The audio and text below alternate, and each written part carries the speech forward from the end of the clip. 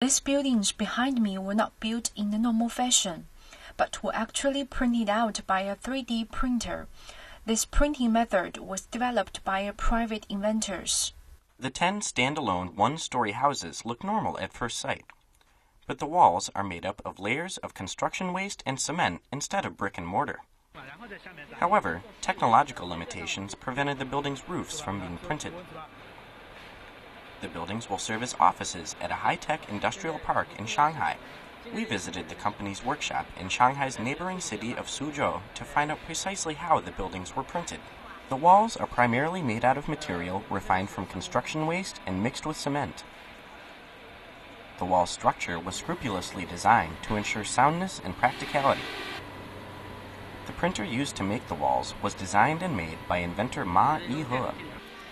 His company and research center are all made out of 3D printed walls. It took about a month for him to build his office, which covers an area of over 10,000 square meters. Ma said a 3D printing assembly line usually consists of four printers. He added that the new technology is cost effective and environmentally friendly.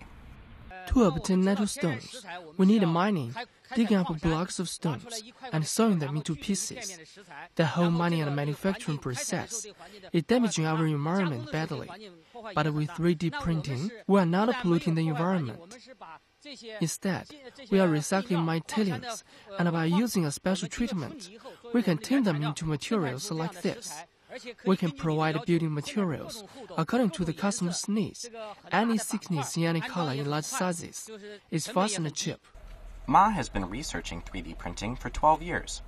He believes his technology can change the way people think about housing and construction.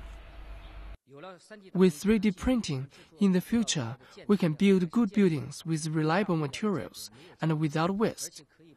Waste from the demolished buildings, industrial waste, or even mine tailings can be used to build structures with our recycling treatment.